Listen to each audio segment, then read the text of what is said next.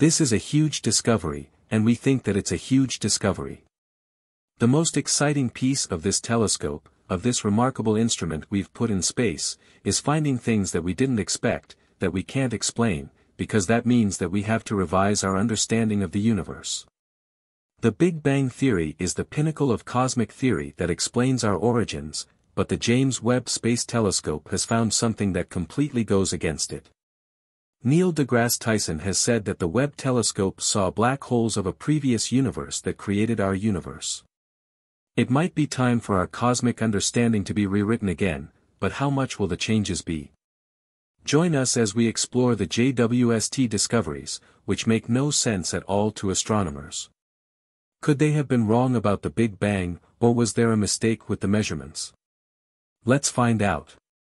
Number 1, JWST found extremely early galaxies. Over the past century, one of the most significant scientific triumphs has been the formulation of the hot Big Bang theory.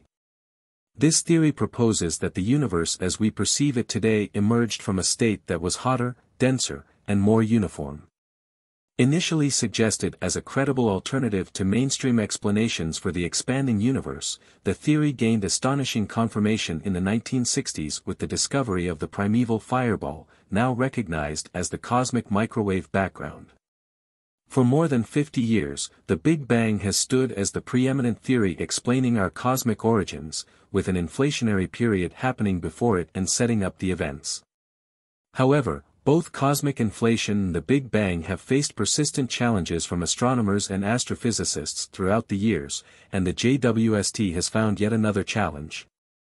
JWST introduced a new layer of complexity to the cosmic narrative. Its detection of early galaxies unexpectedly more massive than anticipated threatens to reshape our comprehension of the universe. The JWST revelation of these high-mass galaxies in the early universe suggests a potential need to re-evaluate our understanding of the cosmic framework. This discovery does not seamlessly align with existing astronomical models. The James Webb Space Telescope has only been operational for less than two years, but it has already provided unparalleled glimpses of the universe during the first few hundred million years after the Big Bang. The James Webb Space Telescope is upsetting the apple cart. All of a sudden, we realize that we may have to rewrite all the textbooks about the beginning of the universe. One notable revelation has been the unexpectedly quick emergence of large, star-studded galaxies.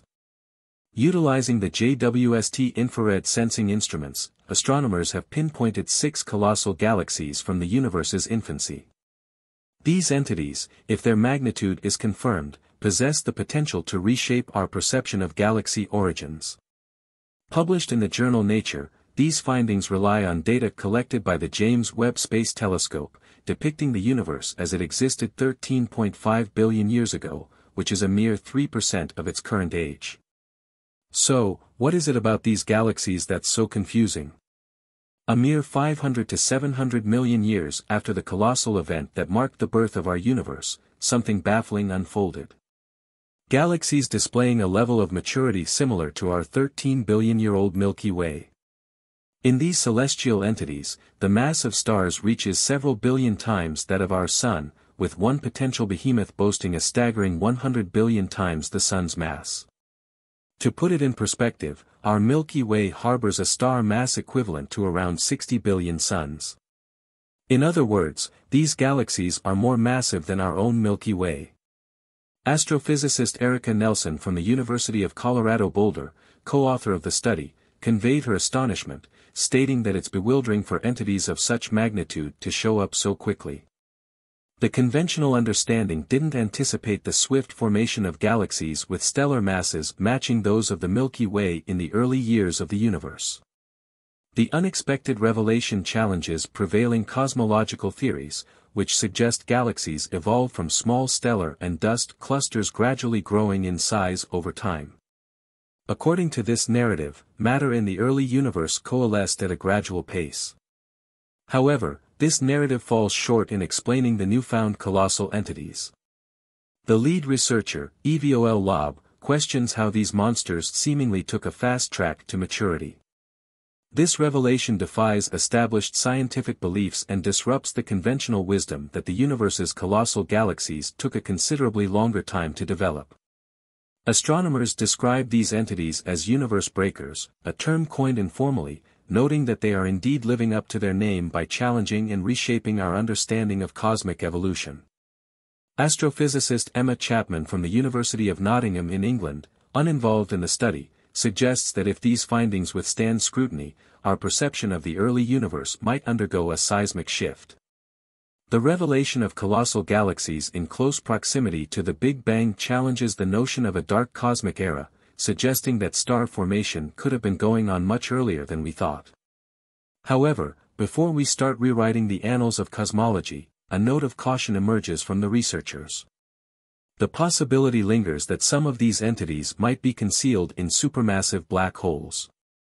What appears as starlight in the images might, in fact, be gas and dust succumbing to their gravitational pull. Another astronomer unaffiliated with the study points out that the intricacies of black hole formation and growth during these early years remain shrouded in mystery. She says that the data introduces not a contradiction to cosmology but rather a call for understanding the novel physics governing their formation and expansion. To validate their discoveries, researchers could employ spectroscopy to capture a spectrum image of these identified objects, shedding light on their age. Galaxies from the early universe exhibit significant redshift, indicating that the light they emit has undergone considerable stretching on its journey to Earth. The higher the redshift value, the more the light has stretched, signaling greater distance and age for the galaxy. Spectroscopy could unveil whether these potential galaxies, labeled high redshift candidates, are as ancient as they appear or if they are intrinsically reddened galaxies from a more recent cosmic period. Number 2, Michael Bowen's take. Astronomers emphasize the need for more observations to confirm the findings, but they suggest that regardless of the outcome, the identified mass implies a staggering revelation. The known mass of stars during this cosmic era might be up to 100 times greater than previously estimated. Even if the sample size is halved, Michael Boylan-Kolchin from the University of Texas Austin adopts a different perspective on the issue, unveiling his insights in Nature Astronomy. The prevailing cosmological model, labeled Lambda CDM, with CDM representing cold dark matter, posits a scenario where ordinary matter and dark matter were thoroughly mixed during the early universe. As dark matter halos collapse to give rise to the first galaxies, a portion of the intertwined ordinary matter transitioned into new stars. Boylan-Kolchin says that we have very good evidence of the distribution of matter in the early universe from the cosmic microwave background. He embarked on calculating the proportion of ordinary matter that should convert into stars to align with the high-mass galaxies detected by the JWST. His conclusion Nearly every available atom would have been used in star formation, yet Boylan-Kolchin deems this near 100% efficiency as bordering on the impossible. He says that the modern universe has about a 10% efficiency in comparison. Mark Vogelsberger from MIT, who wasn't involved in the study, says the paper's theoretical analysis is very sound. The calculation's robustness stems from minimal assumptions, according to Vogelsberger. Despite Boylan-Kolchin's computations, does this imply the overthrowing of lambda CDM? He stops. Short of dismissing lambda CDM, he says that no other theory currently matches its capability, making it a last resort to contemplate replacing it with something else. But what alternative explanations could be in play? Number 3, Unexplainable Discoveries. Leading a team from the University of Minnesota, Hayley Williams unveiled the discovery of a captivating early galaxy merely 500 million years post-Big Bang. Also relying on the JWST, the galaxy's faint visibility hinges on gravitational lensing amplification. Williams highlights its star formation rate, which is tens of times higher than galaxies from a slightly later era. While acknowledging the lower mass of this galaxy compared to those scrutinized by Boylan-Kolchin, Williams speculates on the potential applicability of this intense star formation to higher mass galaxies at similar redshifts. However, Boylan-Kolchin remains cautious, considering the small size of this object, just 105 light-years across, significantly smaller than typical galaxies. He contemplates the possibility that it might be a globular cluster instead. Addressing the tension in cosmological models, one alternative involves adjustments to lambda CDM. Early dark energy models, or ED, propose modifying the behavior of dark energy immediately after the Big Bang. This adjustment could reconcile discrepancies related to the Hubble constant to align with other observations. These models require extra matter to be present in the early universe. Boylan-Kolchin calculates that in such a scenario, the density of matter in early galaxies would triple, diminishing the need for hyper-efficient star formation to achieve comparable outcomes. However, ED models contend that the universe is only 13 billion years old, a massive difference from the 13.7 billion number gained from other measurements. Another plausible resolution revolves around astronomers potentially misattributing some of the galaxy's light to stars. Boylan-Kolchin leans toward the likelihood that the light originates from accretion disks encircling supermassive black holes, considering this one of the most plausible scenarios.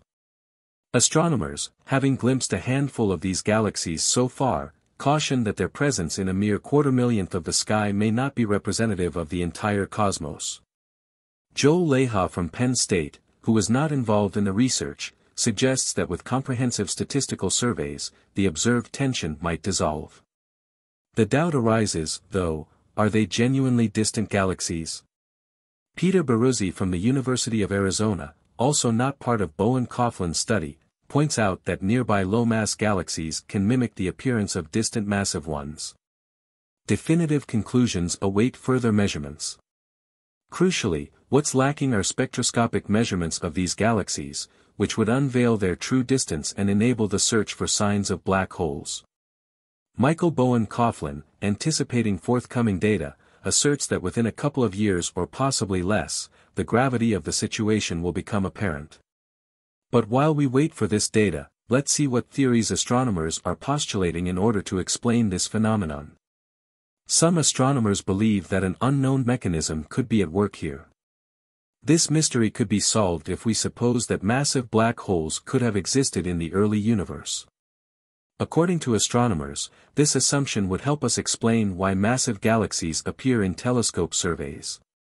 But the problem is explaining how so many black holes appeared in the early universe. That's where a very controversial theory by a Nobel Prize winner comes in. Number 4, a controversial theory. As per the prevailing theory of origins, about 14 billion years ago, all that ever was or will be existed within an infinitely dense singularity, a minuscule point. This singularity exploded, giving rise to everything in our observable universe. This is a very basic simplification of the Big Bang. Yet, for numerous physicists, 13.7 billion years seems insufficient for the formation of intricate structures such as superclusters. A physicist from the University of Oxford challenges the conventional Big Bang model, aiming to substantiate his contentions relying on the residual evidence from the cosmic microwave background radiation, which was formed when the universe was a mere 300,000 years old. This scientist posits that the Big Bang wasn't the origin but rather one episode in a cycle of recurring Big Bangs termed eons. Each of these events ushered in a new phase of the universe. Sir Roger Penrose, a Nobel laureate in physics in 2020, renowned for his contributions to mathematical methods and insights into black holes, proposes that our universe has undergone multiple Big Bangs, with another slated for the future. Penrose's Nobel recognition stems from his advancement of mathematical techniques that confirmed and broadened Albert Einstein's general theory of relativity. He also delved into the intricacies of black holes, revealing how dense objects undergo gravitational collapse culminating in singularities, which are points of infinite mass. Accepting the prize, Penrose reiterated his unconventional theory, describing it as crazy, the universe will expand until all matter decays, initiating a new Big Bang in the birth of a fresh universe.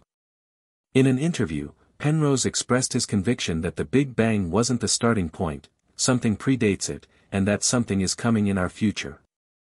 So, how does the physicist support his theory termed conformal cyclic cosmology challenging the prevailing Big Bang narrative, Sir Roger Penrose claims the discovery of six warm sky points, known as Hawking points, each approximately eight times larger than the Moon's diameter. Named after the late Professor Stephen Hawking, who proposed the idea that black holes emit radiation and eventually evaporate, these points suggest the potential existence of such holes, even though spotting them is improbable within the current universe's age of 13.77 billion years. In straightforward terms, Penrose posits that our universe is neither the first nor the final one, arising from a densely packed highly ordered mass evolving into the intricate cosmos we perceive. The existing Big Bang model rooted in inflation lacks an explanation for the existence of a low-entropy highly ordered state at the universe's birth unless events were set in motion well before the actual Big Bang. According to Penrose's theory, our universe has previously and will once again revert to a low-entropy state as it nears its ultimate expansion into nothingness, leaving a frigid, dark, and featureless abyss. Penrose suggests that we can observe dead black holes, remnants of past universes or eons. Proving this could also affirm Hawking's hypothesis. Penrose's 2020 paper, featured in the monthly notices of the Royal Astronomical Society, presents evidence of anomalous circular spots in the cosmic microwave background with elevated temperatures. Data on these spots originated from the Planck 70 GHz satellite and underwent validation through approximately 10,000 simulations. In 2018, Penrose identified radiation hotspots in the cosmic microwave background as potential outcomes of evaporating black holes. A 2010 paper by Penrose and Vahe Gurzadyan proposed cyclic cosmology, asserting that uniform temperature rings in the CMB stemmed from gravitational wave signatures of colliding black holes in a preceding universe. Black holes leak radiation and eradicate matter. They contribute to reducing entropy as the universe approaches its expansion's conclusion. Remaining black holes will evaporate or merge, restoring order. This leads to a state resembling the Big Bang, smoothing spacetime geometry from its current jagged form. According to Penrose's model, a new eon begins after the universe can no longer expand, collapsing into a highly ordered system and triggering the next Big Bang. Penrose argues against the conventional view that CMB temperature variations should be random. He and Gurzadyan found over 12 concentric circles within NASA's WMAP satellite data, suggesting evidence of gravitational waves from prior eons. If validated, Penrose's conformal cyclic cosmology implies our universe is one of the possibly infinite eons, eliminating the need for a Big Bang precursor. Although contested, the hypothesis has significant implications if accurate, challenging the cosmological community's traditional views. Critics highlight difficulties in reconciling an infinitely large universe in one eon with a super small one in the next, requiring particles to lose mass as the universe ages. Let us know if you think Penrose's theory is solid or if it's just another Big Bang contender that will be forgotten like many others. Leave a like and subscribe for more.